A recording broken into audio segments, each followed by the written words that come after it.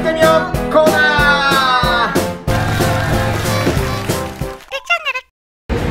はいえー、そしたらねちょっとね今あのー、ちょっと手待ちしてます。手待ちってわかる？手待ちっていうのはこれまあ塗りました。でまだねあのこの乾くまでの時間のことですね。乾くまで他にすることがあればいいんですが他にすることがなければこうやって待っとかな。これ手持ち無沙汰ってやつ。これがいわゆるあの職人でいう手待ちになってしまう。例えばあの材料が足りなくなった。でその日も仕事ができない、まあ、他に塗ることがあればいいんですが他に塗ることなければ、まあ、手待ちになってしまう。であとまあねあのそう乾き待ちもそうですよね。まあ、そういったことがどうしてもロス。仕事のロス。で見積もりするときにあの基本的にはその職人さんの手間賃がどれだけかかるか。まあみんな皆さんね分かりやすく言うとね1日働いたら時給いくらってありますよね。それが1日働いていくらっていう日当っていうのもありますね、まあ、そういったことで、まあ、何日かかるかっていうね、まあ、そこに技術料も含まれるわけですよね、まあ、そういった費用と材料代あと会社の経費であったりとかまあいろんなのこの養生のねこのゴソゴソした福祉財ってやつね。まあこんなんであったりとか、まあ、交通のね車の交通費であったり、まあ、いろんなことで費用がかかってそれが積み重なったものが見積もりになるわけですよね。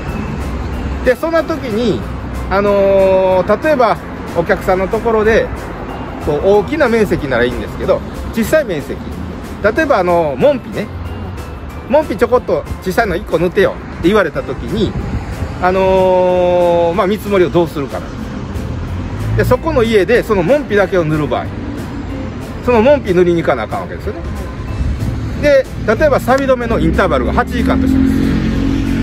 1回塗りました。塗るの時間は30分です、ね、30分で塗れるんですが8時間待たなあかんということはその日はもう錆止めしかできないですね、はい、で翌日行きました。でで中塗りします。中塗りのインターバルが4時間。まあほな昼まで待てば昼から塗れますね、はい、でまあ2日目に朝塗って昼から塗って。でも朝塗って昼から塗るまでの4時間。いわゆる手待ちです。手待ちの間何をするか、何をしましょう。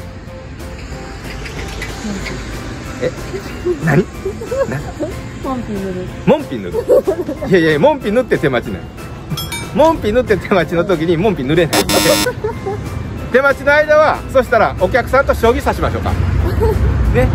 でもこんなん全然お金にならないですよね、うん、だからその見積もりする時に結局2日かかってしまうんで2日分の費用になってしまうんです。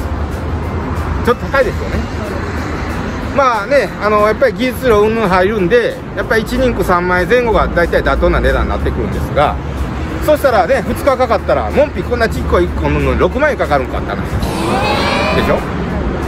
頼みます？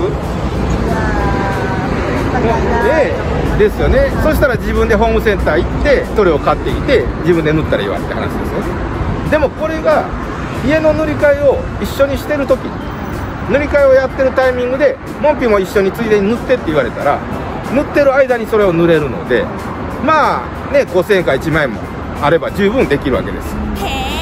全然値段違いますよ。これがいわゆる見積もりになるだ単品でちょこっと頼むと高くつくっていうのはねそういうことなんですよ。ご理解いただけましたはい。できました。ということは自分で塗る技術を持って自分で塗れば安上がりただその時のあのー、ね塗料代だけじゃなしに自分の手間賃っていうのも計算しないといけないですね。ね、自分も少なからず動いてるわけですか。ら、自分の動いてる時間の手間賃を換算してまあ予算計画を立ててみてください。はい。では今度これねえっ、ー、とちょっと乾いてからまたもう一回塗りますね。頑張って。はいと頑張りますさあ仕上げ塗りやってますね。上塗りの2回目ですね。なんかあーとか言ってますけど。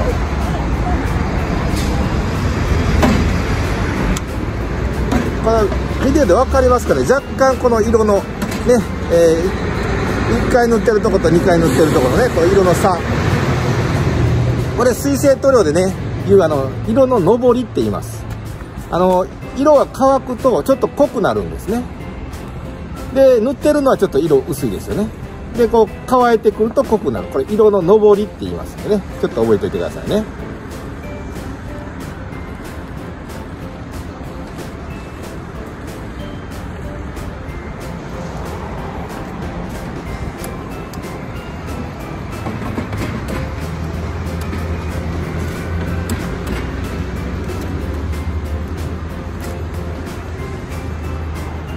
それはこれ絵的にあの塗ってる壁だけ映すよりかあーちゃんがしっかりこう映ってる方が多分あのみんな応援したい気持ちになるんですよね。頑張れ頑張れいう感じで。ね。ちょっと引いていきましょうか。こんな感じで頑張ってます。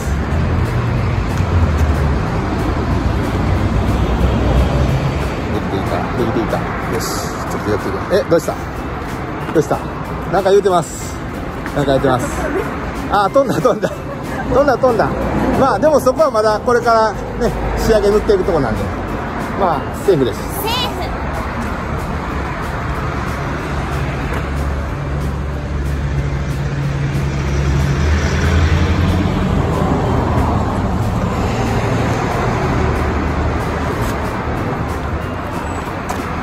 できた、できたー。イエーイはいそしたらね、えー、この、えー、何やった通気口そう通気コートね、えー、通気コートの仕上げ完成しいたしました、ね。